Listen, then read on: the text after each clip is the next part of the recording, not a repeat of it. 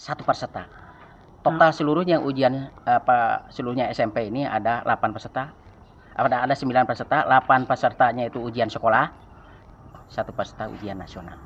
Atas nama siapa Pak yang Yuda? Patria. Yuda Patria Pak.